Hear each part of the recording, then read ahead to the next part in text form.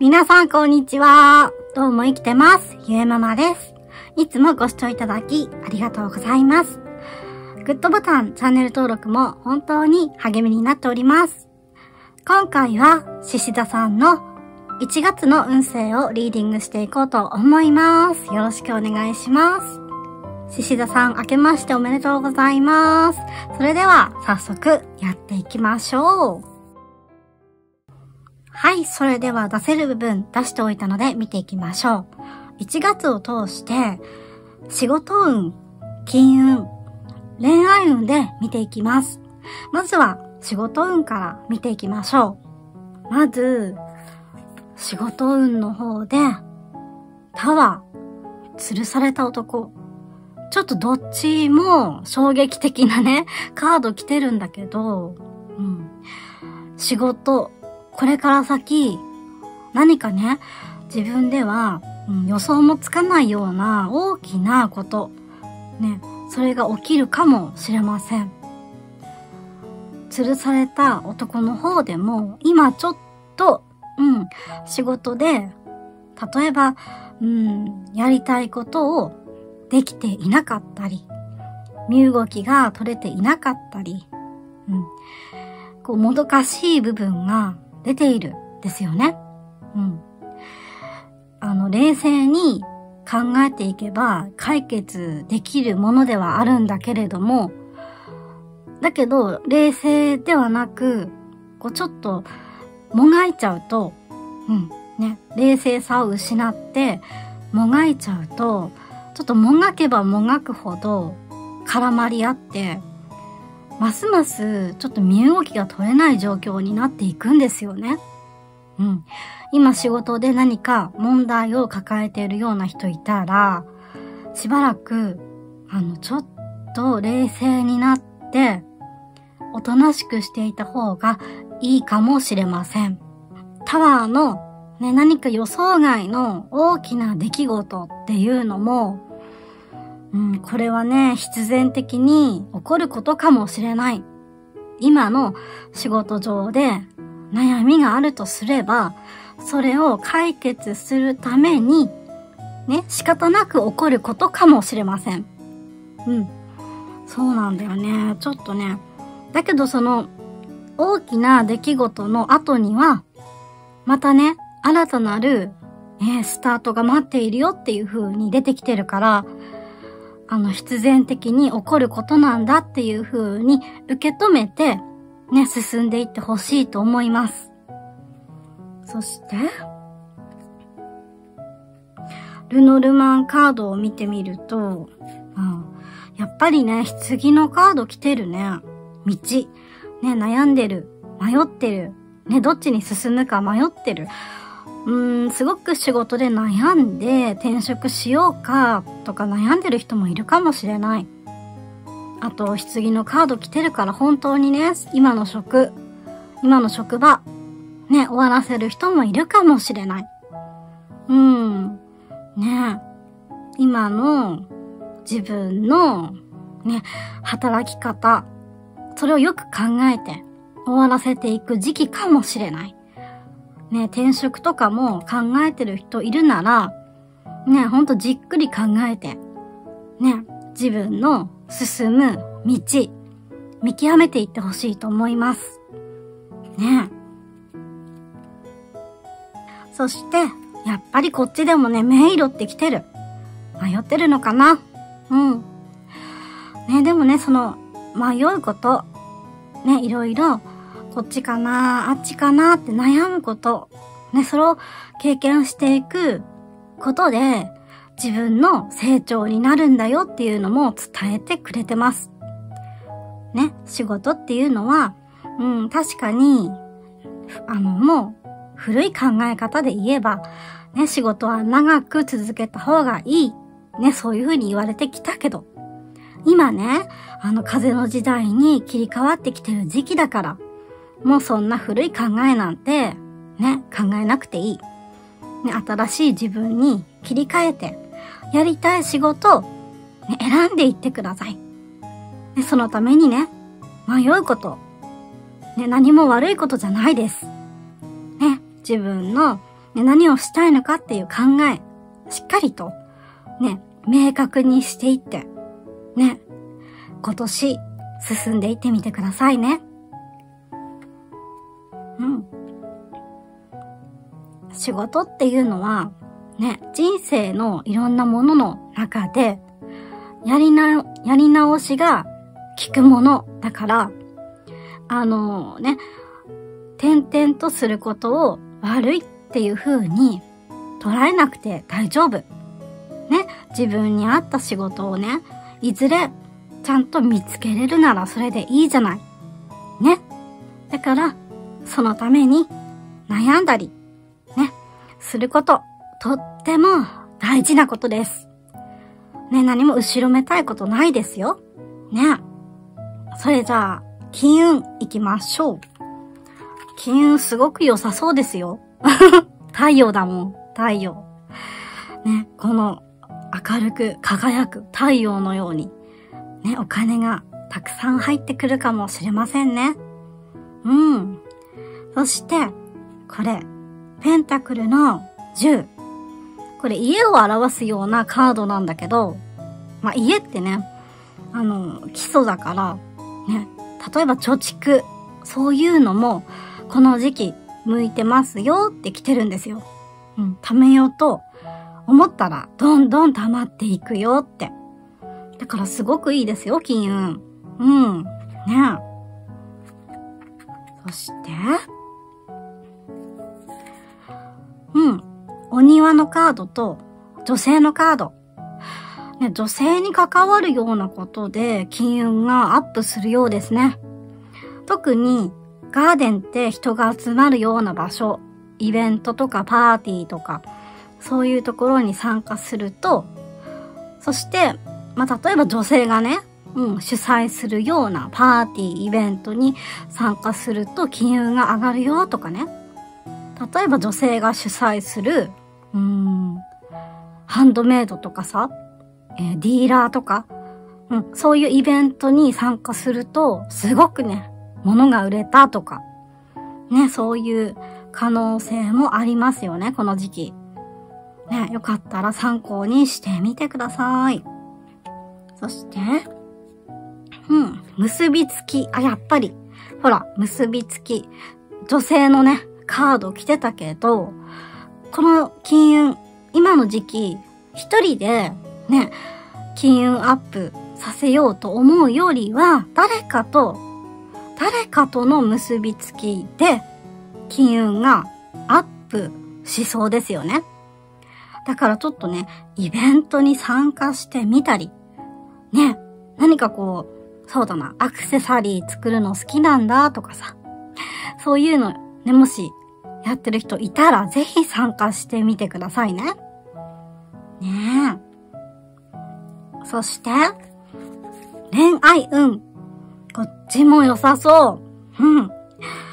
ね、この、強行のカード来てるから、ね、これは、あのー、強行ってさ、人に、こう、なんていうのかな？尽くす、尽くす意味合いがあるんだけど、思いやり、優しさ、ね、そういう人に対して、そういう思いやりを持って接すること。ね、それが大事になってくるよっていう風に教えてくれてます。ね。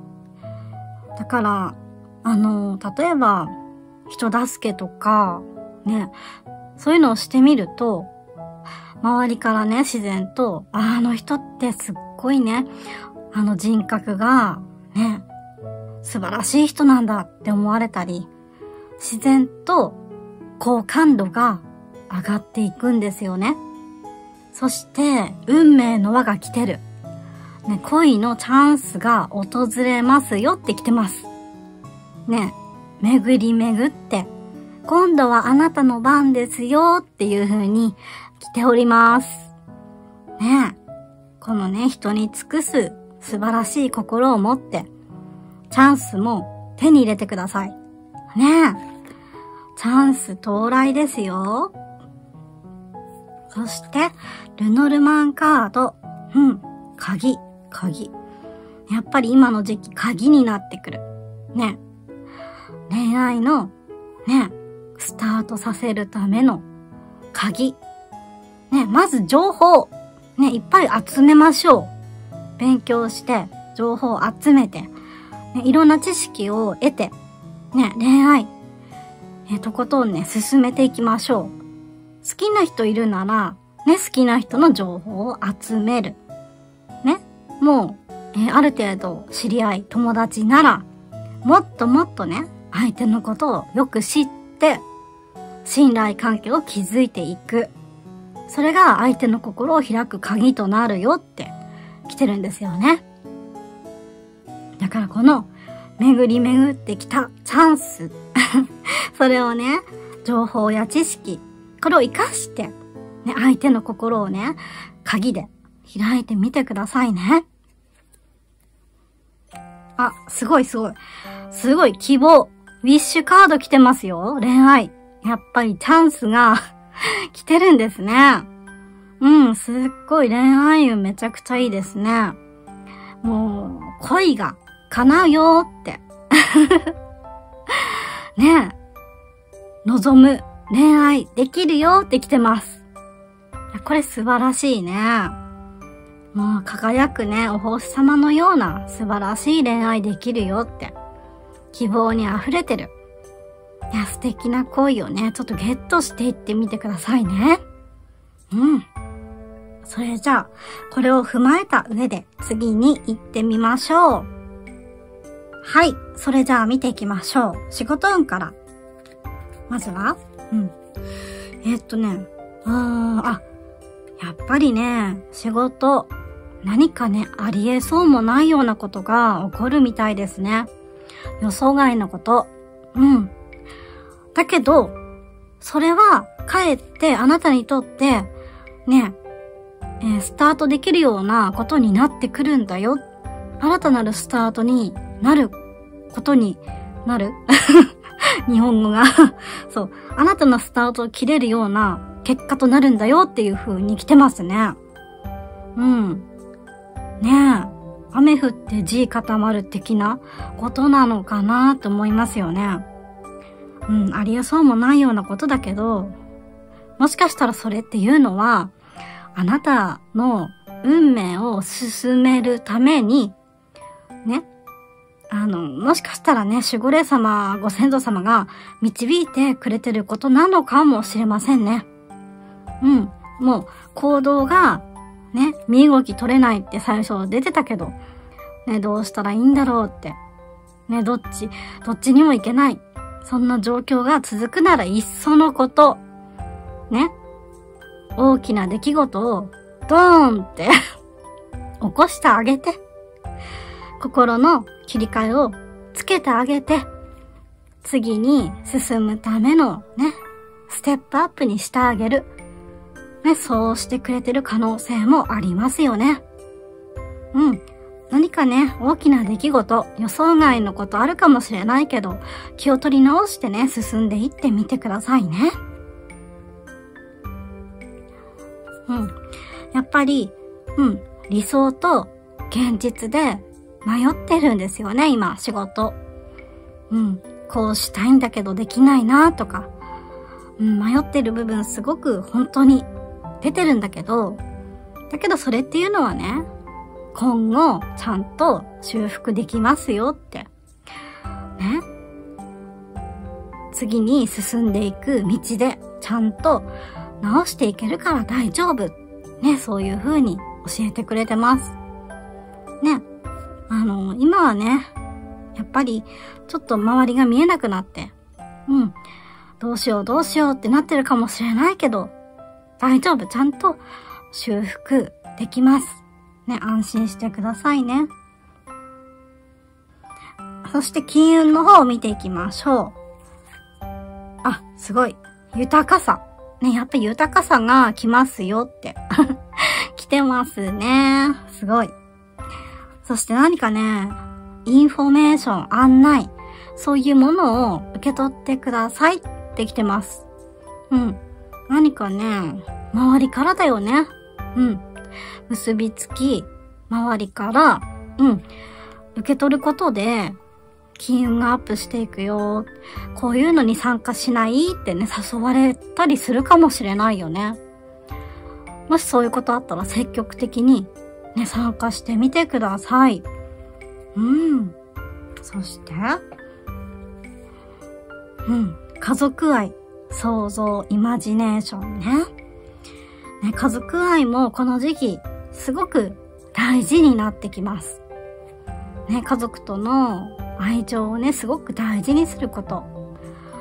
もしかしたらその、さっきあった女性っていうのは、身内の女性かもしれないですね。お母さんとか、妹、お姉ちゃんとか、ね、身内の、おばさんとかそういうのもたくさんいると思うけど、身内の女性かもしれないですね。うん。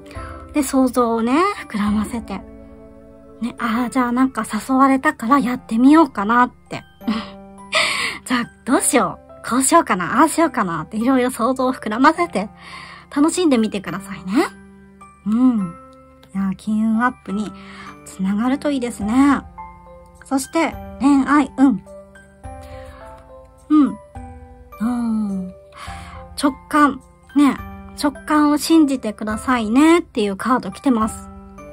この、チャンス到来。チャンス到来のカード来てたから、この人だって思う人、ね、それが直感かな。ね、自分の、ね、直感を信じて恋愛してみてください。だけどね、あの、ちょっとね、今ではないっていうカードも来てるんですよ。うん。あの直感はすごく大事にしてほしいんだけど、相手との関係を急いじゃダメだよって。うん。あの、相手との関係っていうのは着実に進めてほしいんです。すぐ、例えばね、好きになった、じゃその日にも付き合うとかではないよって来てるんだよね。うん。そういう、あの、短絡的なものじゃなくて、本当に運命のお相手と出会う可能性もあるから、じっくりね、信頼関係を築いて、ね、育んでいてほしい。ね、そういう風に来てるんですよね。ね、だから急がないでねっていう風に来てます。そして、うん。やっぱり恋愛において今すっごいね、エネルギーが入ってきてるんだよね。高次元のエネルギー。ね、宇宙から。うん、すっごいエネルギーが流れてきてるから、だからね、チャンスとか、ね、願いが叶うよっていうカード来てるんだよね。そして、このね、これはね、このカードは中途半端なシンフォニーっていうカードで、今の、ね、ここから始まる恋っていうのはまだまだ中途半端なんだよっていうのも、やっぱりここでも言ってたけど、教えてくれてる。ね。まだまだね、未熟な恋だけれども、これを完成させていこうねって伝えてくれてます。急がないで、徐々に徐々に二人の愛を育んでいこうねって。ね。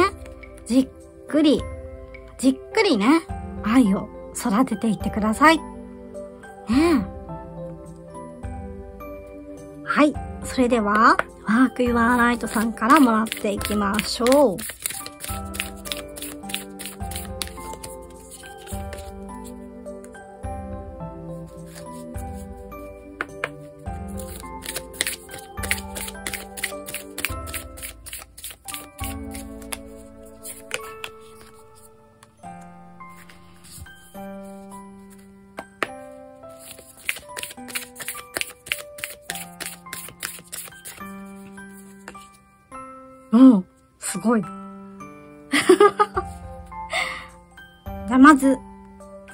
仕事運から。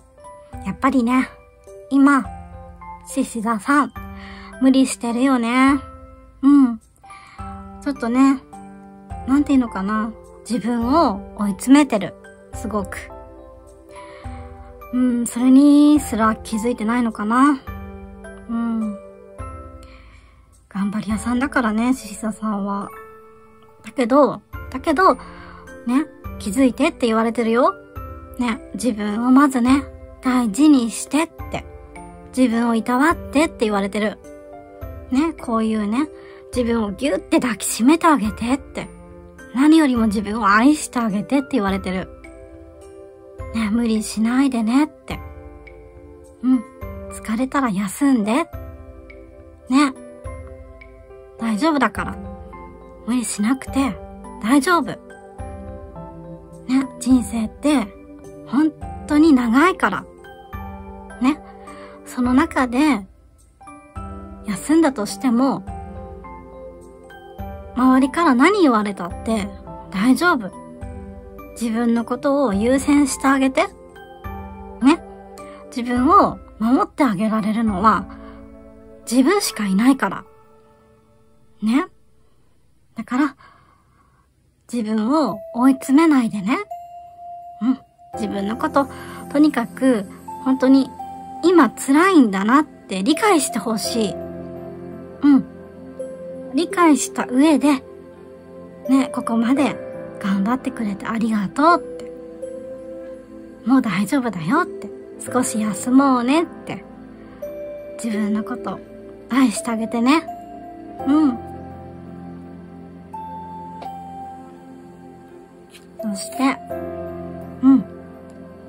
金銭面では、あの、これ不調和のカードなんだけど、あの、反対のことを言われてると思うんだよね。うん。あの、今、あの、調和が取れてるからこそ、金運がすごくいいんだよね。うん。だから不調和にならないように、これからもしていってねって言われてる。ね。例えば、あの、収、収入と、収、収入と、出費 収支のバランスを、うん、考えて、整えていってねって。その、その不調和にならないようにねって、これからも。うん、そうすれば大丈夫、これからも。ね。今本当に上手に、うん、あの、お金のやりくりできてるから。このまま、うん、やれば OK。ねえ、すごくいいよ。そして、恋愛運ね、やっぱりすごい。恋愛運やっぱすごいんだよ、すごい。覚醒しちゃってるの。うん。目覚めちゃってる。覚醒だから。恋愛運が爆発してるっていうのかなもう目覚めちゃってるよね。いや、何回も同じこと言うけど。もうね、モテ期に入る人いるんじゃないかなっていうぐらい、覚醒してるの。そう、あなたの時代が来るよって言われてる。ね。それぐらいすっごい。なんかすごいカードばっかりだね。ねえ、覚醒してます。あなたの恋愛今覚醒中だから。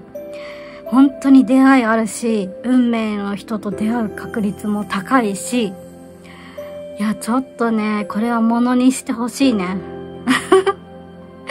ね恋愛楽しんでください。素晴らしいね。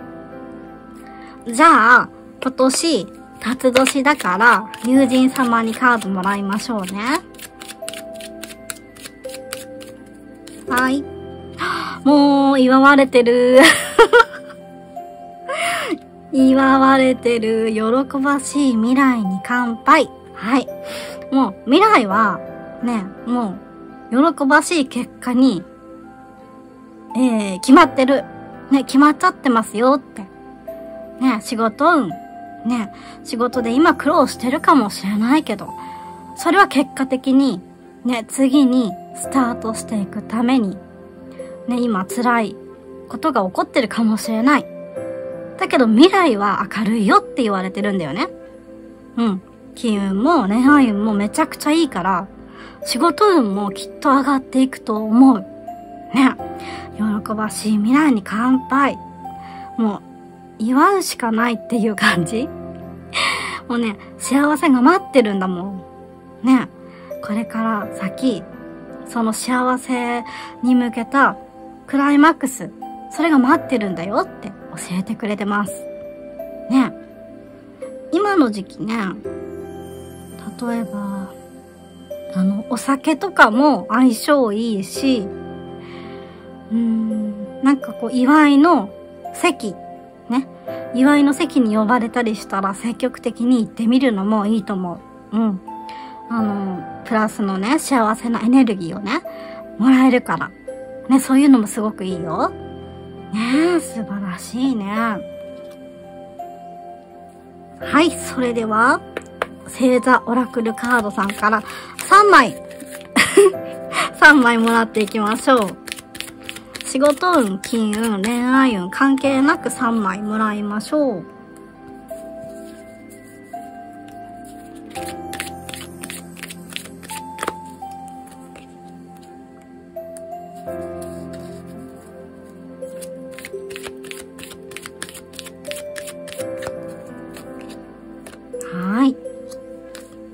はい。サソリ座さんか。このカードちょっと難しいんだよね。複雑なことをね、うん、言っていて、うん、あなたのそのね、情熱は本物ですか？ってまず問われてるんです。うん。ね、あなたが今ね、うん、すごく心に、え、すごく悩んでいること、まあ、今、これで言えば仕事かなって思うんだけど、それは本物？その情熱本物？ね、その思いは本物？って聞かれてるんだよね。うん。で、えー、あなたの周り、ね、人もそうだし、ね、運命もそうだし、そういうものっていうのは変わっていくものなんだよって。だからあなたも変わっていかないといけないんだよって言われてる。ね。それから、えー、あなたがその今、ね、始めていることっていうのは、これからもずっと続いていくことなんだよって なんかすごい複雑でしょ？うん。一個一個内容が違うんだけど、そう、今ね、そう、始めていることは、これから先も続いていくことだから、ね。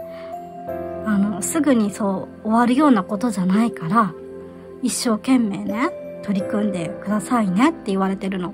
うん。あなたの、その情熱が本物って最初に聞いてるでしょ？ね。本物なら、今始めていることは長く続くかもしれない。でも偽物だとしたら、ね、情熱がないんだから続かないかもしれない。あの多分ね、本気になりなさいって言われてるんだと思う。うん。本気になってって、自分の真の気持ちに気づいてねって、うん、そういう風にね、言われてるんだと思う。うん。だから、悩んでること？うん。それって本当の悩みかなって。うん。何か悩んでることってさ、悩んでるうちに悩みの焦点がずれていくことってあるでしょ？ね。そういう風になってる可能性あるんだよね、仕事面で。うん。本来の悩んでる部分とは違う方向に行っちゃってる可能性あるから、もっとよく、ね、見極めてごらんって。うん。そんな感じがするんだよね。うん。これからね、仕事面で大きく変わっていくことあるから、そこで気づかされる可能性もあるよね。うん。そして、いや、すごいね。これまた さっきあったけどさ、ね、希望、ね、覚醒、今度は上昇気流が来ていますっていうカード来たよ。すごい。人生の波が来てる。ね、素晴らしいこの上昇気流に乗って舞い上がっていきましょう。ね、どんどん、ね、ペガサスの背に乗って、行けるとこまで行って、ね、運気もらっていきましょう。ね、ほんと波に乗ってるから、その波に乗って、どんどん進めるとこまで進んでいきましょう。ね、ごいね。そして、こちらね、やっぱり、うん、人とのつながり、この時期大事なんだなって再確認しましたね。このカードはね、チームワークを表してるの。うん。あなた一人の力じゃなくて、周りと協力することで、ね、何倍もの力が出せるよって、ね、ものすごい成果を上げることができるよっていう風に来てます。ね、だからほんと協力すること大事だよって来てます。ね、参考にしてみてください。はい。それでは、獅子座さんのリーディング終わりたいと思います。今回はね、なんか金銭運、恋愛運、めちゃくちゃ良かったよね。その代わりちょっと仕事面、ね、心配な部分はあったんだけど、ね、あのー、タワーのカードってそこまで怖いカードじゃなくて、うん。何かが大きな出来事があった後に、また、ね、物事が始まっていくよっていう、そういうカードなんだよね。だから、あの自分ではね、予想外のこと起こるかもしれない。だけどそれはきっかけに過ぎないんだよね。うん。それがきっかけとなって素晴らしい人生が始まるかもしれない。そういうのも表してる。ね。だから怖がらないで受け止めてみてください。ね。何かあの本当にね、ね、仕事でこういうことで悩んでるんだとか、愚痴が言いたいなって思ったらコメント欄に書いて、うん、ね、発散してください。本当になんか大きい出来事あったらこういうことあったんだよねって書いてくれてもいいし、うん。ね。あの、仕事で悩んでるなら、こういう仕事で悩んでて、こういうことリーディングしてほしいんだけどって書いてくれても大丈夫。ね。